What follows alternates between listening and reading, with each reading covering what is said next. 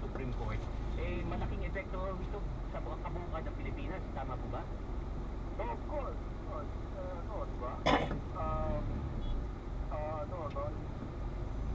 Both ways, no? Kasi, uh, pag, pag, pag, pag, pag, sila, ma, ma-invest in independent accountability ng mga institution na yun. Pag natalo naman sila, pag, pag, at, at, at kung sisibi ako na hindi ito mananalo sa Senado, no? Ah, uh, hindi lang mahalas sa no? Mamimili ka naman yung Pangulo, di ba? Yun ang maganda para sa bayan. Ang binabanggit nyo, uh, Attorney Lavinia, yung, yung Senate impeachment na parang pati nyo yan, no? Hindi siya, Oo, oo,